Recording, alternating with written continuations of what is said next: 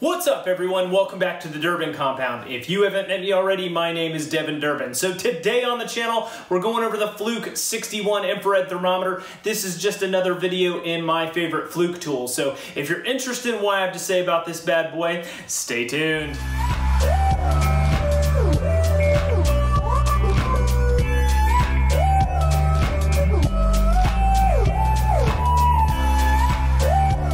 Guys, so let's go over this infrared thermometer. There's not much to say about this thing, uh, so this video is going to be nice, short, and sweet. So this is the Fluke 61 infrared thermometer, uh, if you can't read and you haven't already seen the thumbnail for this video. But um, this is simple click and point with the laser pointer.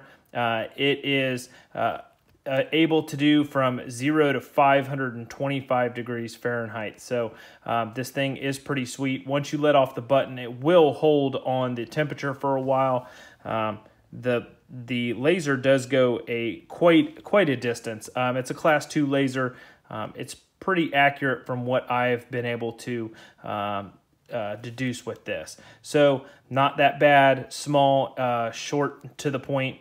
Um, this thing runs on a 9 volt battery piece of cake. Um, you actually uh, peel off this rubber cover. Um, if you're interested in just what it is, uh, it has a little lanyard clip here if you need to tie it off to anything. Um, you want to put a little lanyard on it, whatever. Um, simple um, 9 volt battery in here, boom, got the Rayovac in there. Uh, and then the cover goes back on it. So uh, very easy to use, click, point, shoot, boom. Um, and obviously I did something there. Oh, and it is good to go.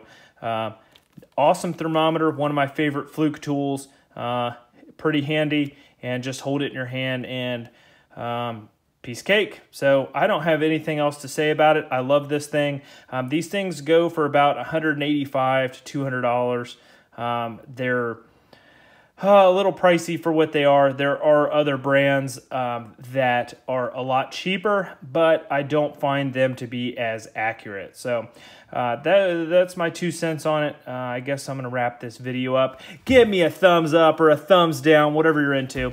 And I guess we'll see you guys in the next video.